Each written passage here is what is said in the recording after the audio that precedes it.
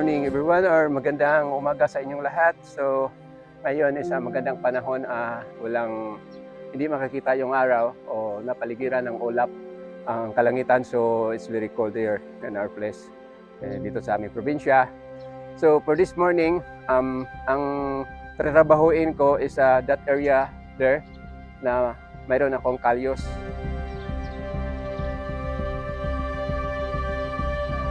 Um, yun ang uh, tatrabahuin ko this morning that before I do on magkatsikaso doon with my bonsai garden um, yung lilinisin ko ng area is uh, patakbuhin or maglaro muna ako with my Traxxas X-Max kasi napanood ko kagabi with uh, ko an, ano yung Traxxas X-Max is uh, hin- until now hindi pa kumukupas yung pagkasikat niya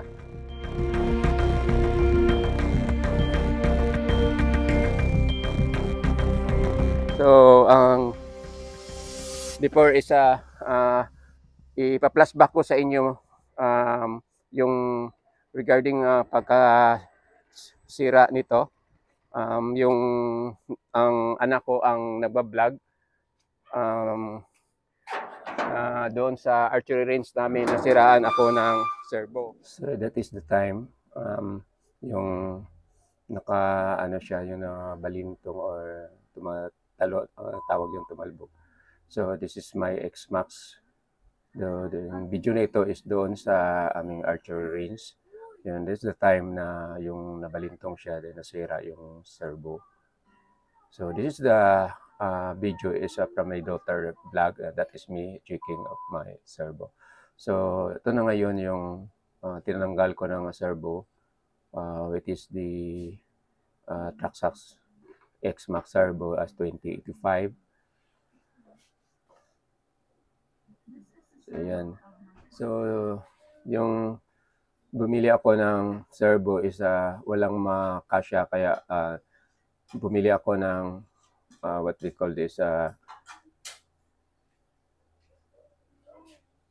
adapter of the servo yun na so um, sa Shopee ko nabili ito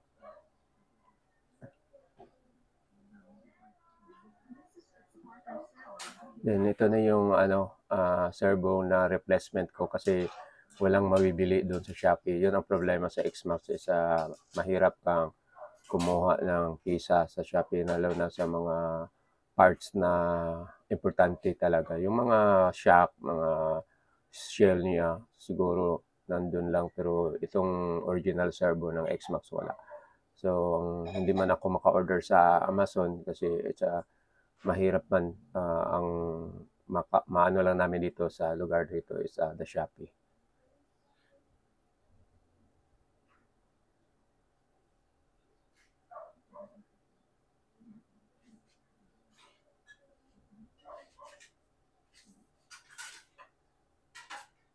Yan ang ano niya adapter para makasya doon sa Xmas.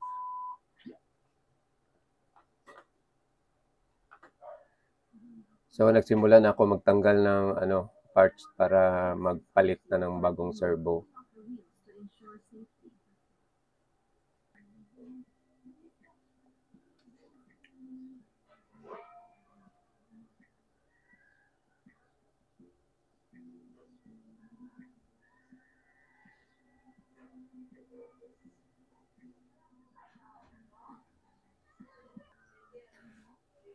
So natapos ko na nalagay yung servo at saka tinitesting ko um, kung okay ba.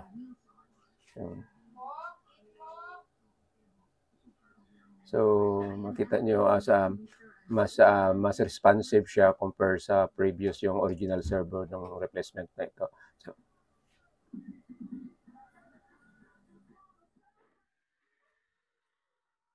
So kahit ah, ang battery niya not so ah, ano, sisira ko muna itong ah, main gate namin kasi takot na ako baka biglang mag-wild yung ah, Xmax ko tapos ah, lumusot dito sa road, delikado pa maka-aksidente na ako ng ibang mga motorista. So yung laruan ko ah, this area, so try ko na lang patakbuhin dito. So dito ako mag ano, yung maglaro ng aking Xmax. Kaya yung area is sobrang sikip. So, at uh, mention ko nang ipa-flashback ko yung ano, yung nagsiraan ito ng servo.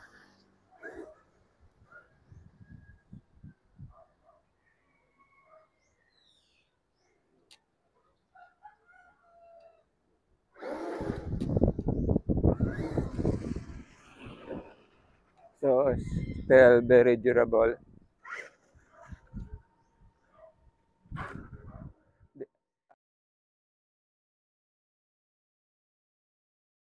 Kana yan.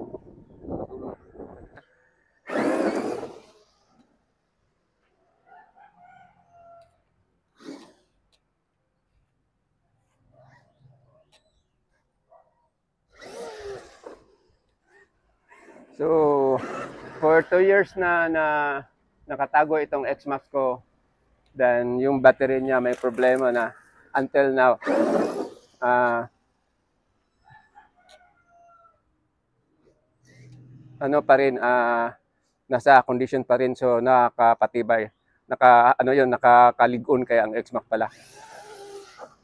So kahit ah hindi na full charge itong battery, may power pa rin siya.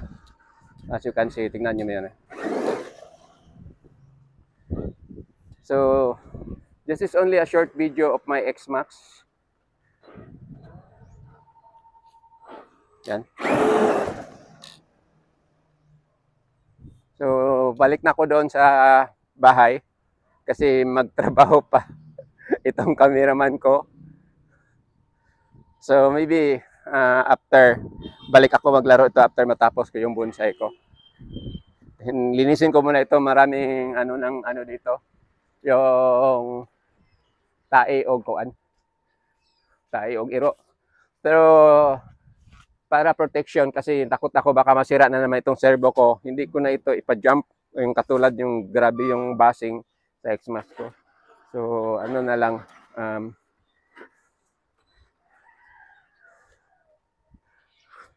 So, palo next. O, makikita ninyo dito sa, ano ko, with the X-Max and this motorcycle, try namin i-drag race kung sinong mas mabilis sa kanila with only 25 meters lang. So, makikita natin. So, proceed na ako sa halaman ko. So, after short play of my sa X-Max, I'm here. Dito yung sinasabi ko, ang linilisan ko. So, ito na mga bonsai materials para makaginhawa ni akong kalyos um, igupitan ko ito. Kunin ko is uh, another kind of uh, bonsai material. It is uh, picos. So sa amin is uh, they call this a golden picos. So ito ang linilisan ko para makaginhawa itong aking ano, kalyus.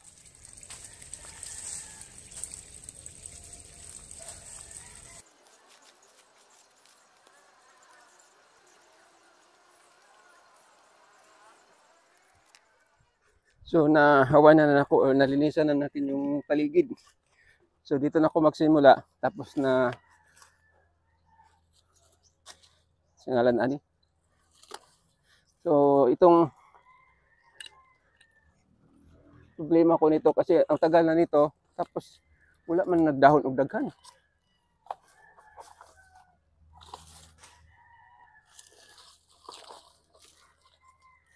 So pasensya na po yung ano Tagalog ko uh, may kasamang bisdak kasi hindi ako nakapag-aral kagabi sa akong ano yung kudigo kung anong sasabihin ko for this morning sa salitang or sa wikang Tagalog.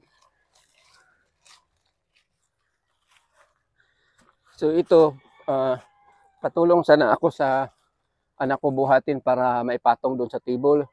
Uh, naisip ko pag mapatulong ako sa kanya tapos umalis siya dahil punta sa trabaho niya eh paano ko pagbalik uh, hindi na ako makabalik sa kung saan ito nakalagay hindi ito kasi ang bigat so ngayon ang ginawa ko lang nito ngayon isa tinanggal ko yung mga unnecessary branches kasi yung mga bata nga sanga yung mostly ang mabilis lumaki then yung old na sanga ang hina na magtubo So itong form nito hindi pa final. Sinubukan ko lang uh, i-try kung ganitong uh, style ang ginawa ko. if ever um, magresulta ito na hindi pa rin gumaganda, ang gawin ko dito is i- parang i-die back o back to zero, putulin ko doon sa malapit yung mga sanga, yung mga malaking trunk.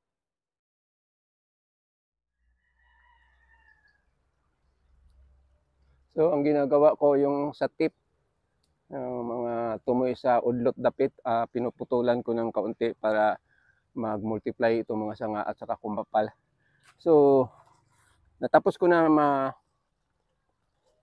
linisan at saka nagupitan itong aking ah, isa sa malaki ng kaunti na kalyos. Lagay naman tayo ng abono.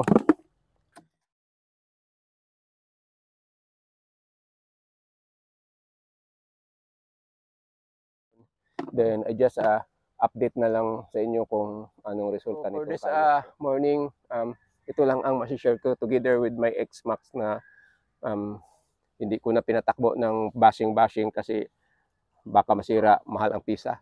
So, balik naman tayo dito sa aking bonsai. Just hope So, na maganda itong, maging maganda itong aking kalyos for the future. So again, maraming salamat sa panonood. God bless you all. Have a nice morning ahead of you. Bye-bye. Balik naman ako sa aking X-Max kasi i- ano ko, hugasan kasi napuno og hugaw.